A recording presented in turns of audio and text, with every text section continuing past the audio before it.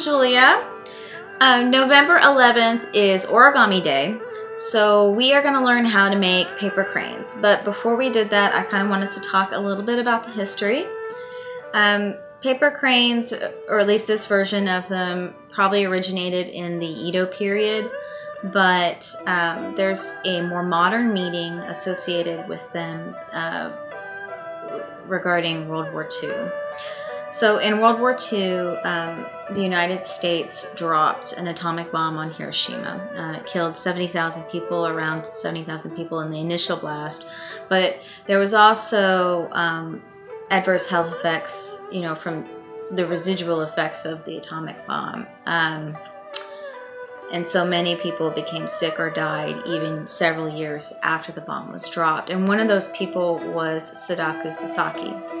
Now, when Sadako was sick, she began making paper cranes. And so there is this legend, and again, I got some conflicting information exactly what it means, but that you would make a thousand paper cranes and either that your wish would come true or that it would bring you good health or happiness or longevity. Um, but in any case, she did begin making these paper cranes. Um, sadly, Sadako did pass, but in order to honor her, and we will often put um, paper cranes at the Children's Peace Monument, which is located at the Peace Memorial Park in Hiroshima. Um, and people worldwide make cranes now to honor her memory and to honor hopes of peace. So um, just keep that in mind today as you're learning to make these. Um, I will say it took me a few tries to learn how to make these, so uh, don't feel shy to rewatch the video. Um, and stay tuned.